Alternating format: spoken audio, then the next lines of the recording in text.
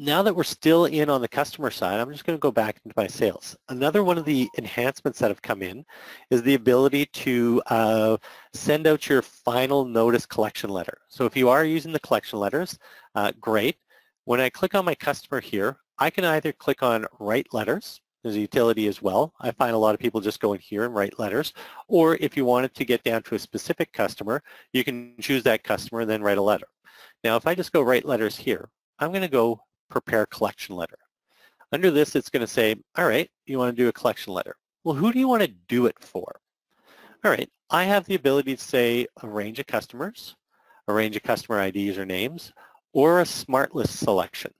Okay, so this smart list selection was added a little while ago. The final emailing of the final customer letter or collection notice is what the enhancement is, but I always wanted to touch on this because if I had a smart list selection here, I can say, well, it's customers balance or something like that, right?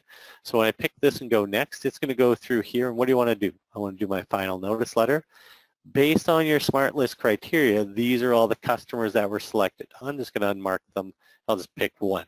But think about it, if you built a smart list that says, these are the ones that I want to focus on, and I need to send out a letter for this reason or a final collection notice because you've got customers with bad debt and stuff like that, this is a quick and easy way of building it out.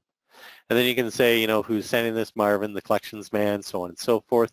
And when you hit finish here, it's going to build out a unique letter for each one of these, and you should be able to see that a Word template has come out. So on this collection letter, you can actually design it so it says here's the invoice, the date, the numbers, and everything that's outstanding. You can also uh, update it, and you can find, you know, these, uh, you know, basically put the verbiage and wording around it. If you needed to update this collection letter, it's a Word template.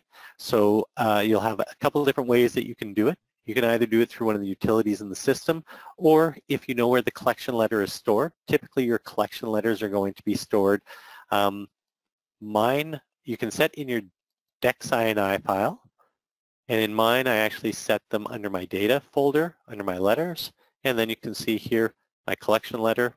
Double click Marvin, final notice. I would actually be able to go into the final notice and you'll see that I'm using my final notice DOCX template. So I'd use this one and I would update that template. That gives you the ability to update it to be the wording you want. You can also create additional ones when you drop them in here.